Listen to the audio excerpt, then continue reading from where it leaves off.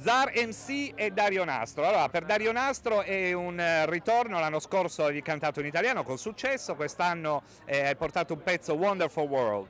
Wonderful World, sì. È una canzone di James Morrison molto popolare. Come mai sei caduto su un pezzo in inglese quest'anno? Per variare. L'anno scorso era in italiano, quest'anno in inglese. Per Prossimo anno in variare. francese. Ecco, magari, ecco. Il prossimo anno la farò in madalenino. Ecco, allora Zara MC, che poi si chiama Francesco, comunque lui è un cantante hip hop, ha scritto la canzone inedita che si chiama C'è qualcosa che non va, che parla dei problemi del mondo. Come ti è venuta questa canzone? Eh, perché sono abbastanza autocritico con, eh, con il mondo, perché vedo che comunque ci sono un sacco di problemi che io giovane non riesco a risolvere e le persone che hanno potere non si impegnano per risolverle e cerco di dirglielo io in una canzone per vedere se riescono a capirlo. Anzi, talvolta le persone che hanno potere ce ne aggiungono di ne problemi. aggiungono e, e comunque fanno finta che non ci siano, loro, loro che potrebbero fare non, non fanno. E questo è tutto, sta per iniziare la seconda serata del eh, concorso Canoro dall'Isola Cantando. Io vi lascio la Maddalena TV, state con noi, seguiteci. Canoro dall'Isola Cantando, spettacolo abbinato ai festeggiamenti di Santa Maria Maddalena. Presenta Franco One con le musiche degli Havana. Buona serata!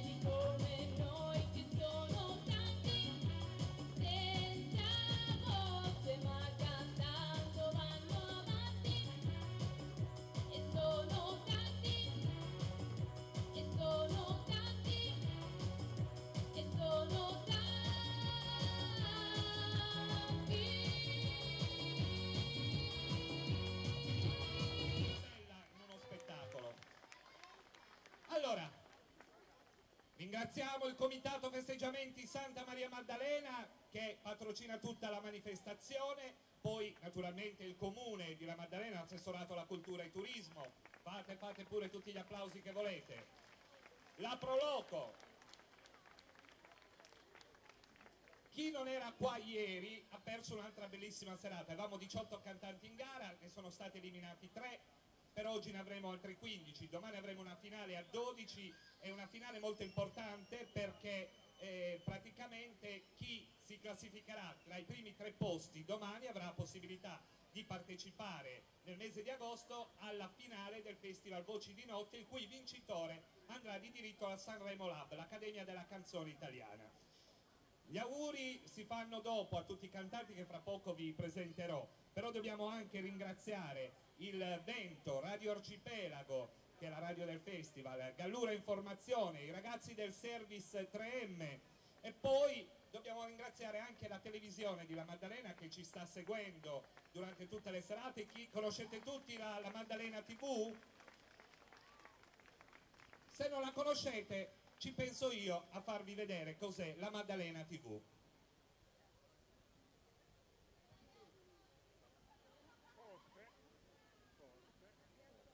Adesso arriva.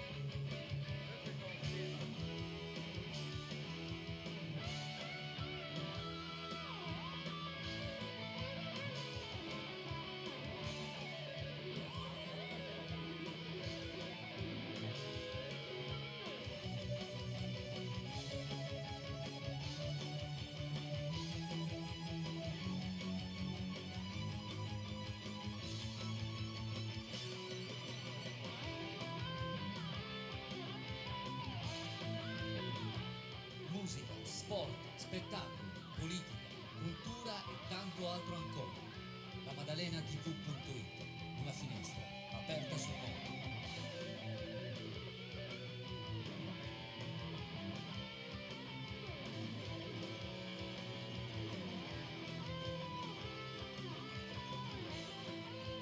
La Maddalena TV.it, la prima web TV isolana.